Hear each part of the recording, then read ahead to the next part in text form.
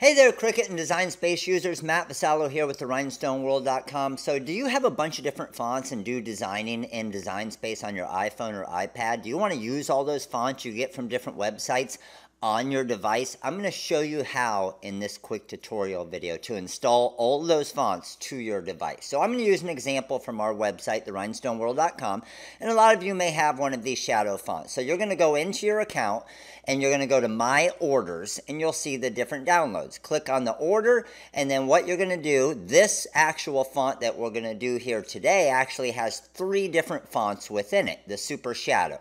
So I'm going to download Shadow 1 and then I'm going to come down. I'm going to download Shadow 2 and then I'm going to download Shadow 3. Now I'm doing this on my iPad, same process with your iPhone as well. Once you've actually downloaded those, what you're going to do is install this app. It's called iFont, and you can see it right up here at the top.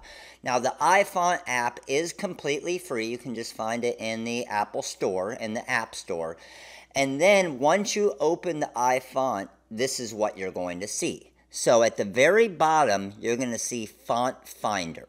I clicked on that and then I'm going to go to Open Files and you'll see those Super Shadow fonts that you just downloaded.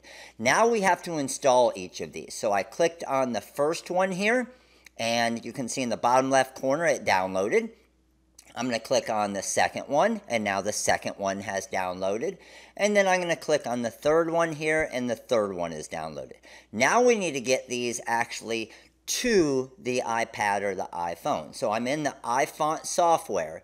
I clicked on install on the left hand side right there and you can see profile is downloaded. Now you have to do this process with each one. So go to your settings tab on your iPhone or iPad now.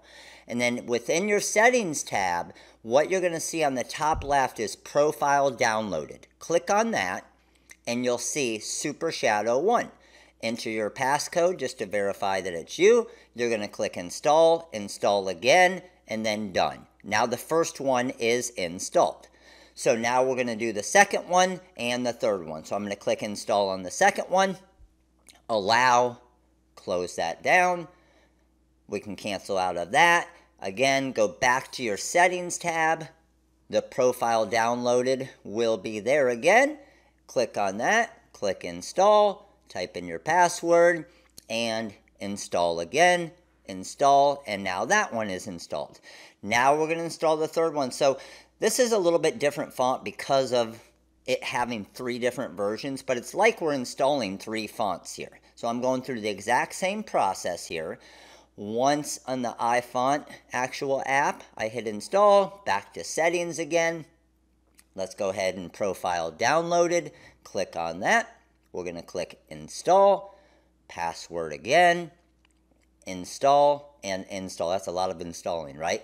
Click done. Now what we're going to do is we're just going to head over to the Cricut Design Space software, open that up, and check this out. When I go down to text, I'm going to click on System, the one in the middle right there, not the Cricut fonts. I want the System fonts.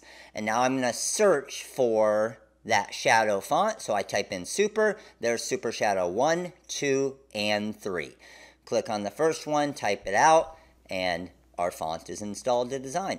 It's pretty awesome and pretty easy, isn't it? So if you enjoyed this video, please make sure to click that like button, comment below, and click that subscribe button. Now, if you want a second video on how to make a three-color design like this right here within the Design Space software, whether you're on your PC, iPad, iPhone, Comment below. Let me know if you want this second video, and I will show you with our special shadow fonts how you can make an amazing three-color design just like this right here for the tumblers, for shirts, for whatever you want to do, and you're turning Design Space into an actual designing software. It's pretty awesome, isn't it? So again, comment below. Make sure to click that like button if this video helped you out. Make sure to subscribe if you want more videos, and thanks for watching.